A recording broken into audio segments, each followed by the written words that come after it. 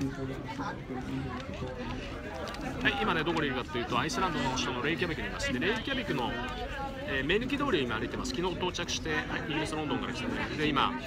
こういう感じで、えー、目抜き通り歩いてきてね発生して途中お腹減ったんでねいろいろどっかのま入ろうと思ってます。で、えー、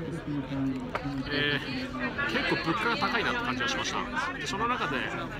ーまあ、物価が高いアイスランドスイスより高いですね。ぶっちゃけ一番今まで67カ国目ですけど一番高いかなって感じがします。で、えー、こういう感じで、ね、今いるところがアメリカ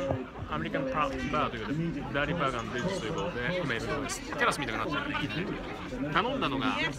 チーズバーガーということで、まあ、こういう感じでチーズバーガーの、えー、こういう感じでセットで頼んでこれで大体2600円ぐらいです日本円でね。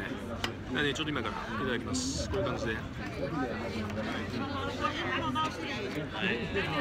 飲み物はセブンアップ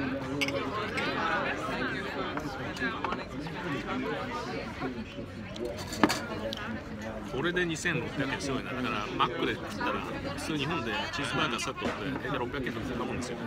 だから4倍ぐらい。まあそれでもね例えばイギリスなんかで食ったとしてもお昼で食って多分1500円とかで食えるとかあるのいやいやいやもっと安いとかある。のこの間イギリスロンドン食った時600円ぐらいどこ見てもねやっぱり2000円ぐらいするんですよ。あのランチびっくりします。ということで今こういう感じでね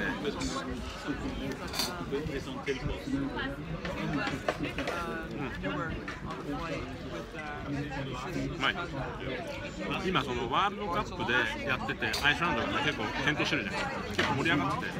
そこのところもねバーナーとかいろいろ応援してる姿を見ることができます。今ちょうどポーランドの試合終わったんで帰っちゃいましたけど